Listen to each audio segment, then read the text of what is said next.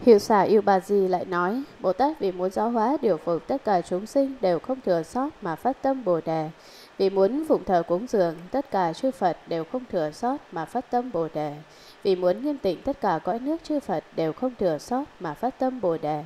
Vì muốn hộ trì chánh giáo của tất cả chư Phật đều không thừa sót mà phát tâm Bồ Đề. Vì muốn thành tựu viên mãn thể nguyện của tất cả Như Lai đều không thừa sót mà phát tâm Bồ Đề. Vì muốn đi đến cõi nước của tất cả chư Phật đều không thừa sót mà phát tâm Bồ Đề. Vì muốn vào chúng hội của tất cả chư Phật đều không thừa sót mà phát tâm Bồ Đề. Vì muốn biết các kiếp thứ lớp trong tất cả thế giới đều không thừa sót mà phát tâm Bồ Đề. Vì muốn biết biển tâm của tất cả chúng sinh đều không thừa sót mà phát tâm Bồ Đề. Vì muốn biết biển căn của tất cả chúng sinh đều không thừa sót mà phát tâm Bồ Đề. Vì muốn biết biển nghiệp của tất cả chúng sinh đều không thừa sót mà phát tâm Bồ Đề. Vì muốn biết biển hạnh của tất cả chúng sinh đều không thừa sót mà phát tâm Bồ Đề. Vì muốn biết biển phiền não của tất cả chúng sinh đều không thừa sót mà phát tâm Bồ Đề. Vì muốn diệt trừ biển phiền não tập của tất cả chúng sinh đều không thừa sót mà phát tâm Bồ Đề. Cảnh giới của Kinh Hoa Nghiêm là không thể nghĩ bàn, mà hạnh nguyện của Bồ Tát cũng vô cùng vô tận. Trong phẩm Phổ Hiền hạnh nguyện có một đoạn rằng, lễ kính này của ta vô cùng vô tận, như vậy cho đến cõi chúng sinh hết, nghiệp chúng sinh hết, phiền não chúng sinh hết, thì lễ của ta mới hết. Mà cõi chúng sinh cho đến phiền não không cùng tận, lễ kính của ta cũng không cùng tận, niệm niệm liên tục, không gián đoạn, thần miệng ý nghiệp không mỏi nhàm. Cho nên biển nguyện của Bồ Tát trùng trùng vô tận không thể nào nói hết được. Chúng sinh vô tận, nguyện cũng vô biên. Thiện Nam Tử nói tóm lại, Bồ Tát vì trong vạn A Tăng Kỳ hạnh phương tiện như vậy mà phát tâm Bồ Đề.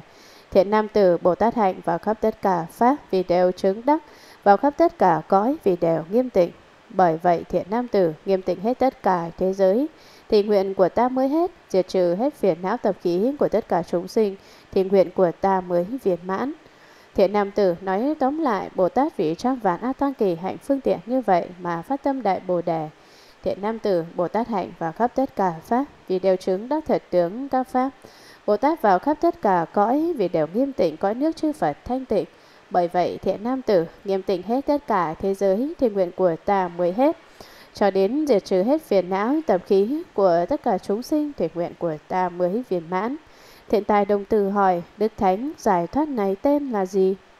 Đáp rằng thiện nam tử giải thoát này tên là Ly Yêu An ổn tràng. Thiện tài đồng tử nói, Đức Thánh giải thoát này tên là gì? Hiếu xà Yêu Bà Di đáp rằng, thiện nam tử giải thoát này tên là Ly Yêu An ổn tràng. Giải thoát này dùng đại bi cao hiển cho nên gọi là tràng. Phàm là chúng sinh thấy được chàng này đều lìa khỏi nghiệp cảm thống khổ mà chẳng thối tâm bổ đề, cho nên gọi là ly yêu an ổn chàng. Thiện nam tử, ta chỉ biết một môn giải thoát này, như các đại Bồ Tát, tầm các ngài như biển đều dung thọ được tất cả phản Pháp, như núi tu di ý chí kiên cố không thể lay động, như thuốc thiện kiến hay trừ phiền não bệnh nặng của chúng sinh, như mặt trời trong sáng hay phá vô minh ám chướng của chúng sinh, như đại địa hay làm nơi nương tựa của tất cả chúng sinh, như gió tốt hay làm lợi ích cho tất cả chúng sinh, như đèn sáng hay vì chúng sinh, sinh ra trí huệ quang minh, như mây lớn hay vì chúng sinh mưa pháp tịch diệt, như trăng sáng hay vì chúng sinh phóng ánh sáng phước đức, như đế thích đều hay giữ gìn tất cả chúng sinh, mà ta làm thế nào biết được nói được hạnh công đức đó. Thiện nam tử, ta chỉ biết một môn giải thoát này, như tất cả các đại Bồ Tát, tâm của các ngài rộng lớn như biển cả đều dung thọ được tất cả Phật Pháp, Trí nguyện và ý lực của các ngài rất kiên cố như núi Tu Di, không thể lay động. Các ngài giống như thuốc thiện kiến hay trừ phiền não bệnh nặng của chúng sinh. Các ngài giống như mặt trời trong sáng hay phá vô minh ám chướng của chúng sinh.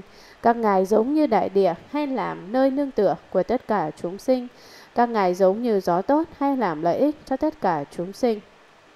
Các ngài giống như đèn sáng hay vì chúng sinh sinh ra trí huệ quang minh các ngài giống như mây lớn hay vì chúng sinh mưa diệu pháp tịch diệt, khiến cho chúng sinh đắc được phước tịch tĩnh viên mãn.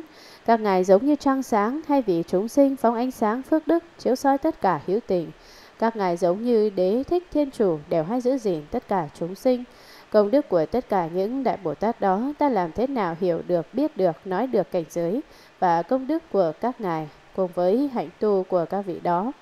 Thiện nam tử ở hướng nam xứ hải triều này có một cõi nước tên là Na La Tố. Trong đó có vị tiên nhân tên là Tỷ Mục Cổ Sa. Người đến đó hỏi Bồ Tát làm thế nào học Bồ Tát hạnh, tu Bồ Tát đạo. Thiện nam tử, người hãy đi về hướng nam xứ hải triều này, có một cõi nước tên là Na La Tố. Trong nước đó có vị tiên nhân tên là Tỷ Mục Cổ Sa. Người hãy đến đó hỏi Bồ Tát làm thế nào học Bồ Tát hạnh, tu Bồ Tát đạo.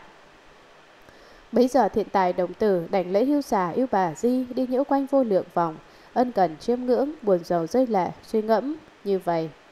Đắc được bồ đề là khó, gần gũi thiện tri thức là khó, gặp được thiện tri thức là khó, đắc được các căn Bồ Tát là khó, tịnh các căn Bồ Tát là khó, gặp được đồng hành thiện tri thức là khó, như lý quan sát là khó, ý giáo tu hành là khó, Gặp được sinh ra thiện tâm phương tiện là khó, gặp được pháp quang minh tăng trưởng nhất thiết trí là khó. Nghĩ như vậy rồi từ tạ mà đi.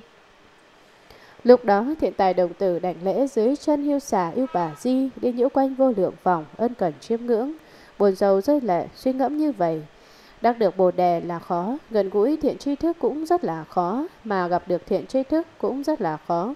Cho nên muốn gặp được một vị thiện tri thức giúp đỡ bạn qua khỏi dòng sinh tử cũng rất là khó. Muốn đắc được các căn của Bồ Tát rất là khó. Muốn thanh tịnh các căn của Bồ Tát cũng rất là khó. Gặp được thiện tri thức, cùng tu với nhau cũng rất là khó.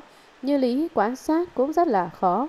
Y giáo tu hành cũng rất là khó. Gặp được thiện tri thức khai thị mà sinh ra thiện tâm phương tiện cũng rất là khó. Gặp được pháp quang minh tăng trưởng, nhất thiết trí cũng rất là khó mà ta hiện tại đều gặp được, ta thật là quá may mắn. Thiện tài đồng tử nghĩ như vậy rồi bèn hướng về hưu giả yêu bà Di từ tạ mà đi về hướng nam tìm vị thiện tri thức khác.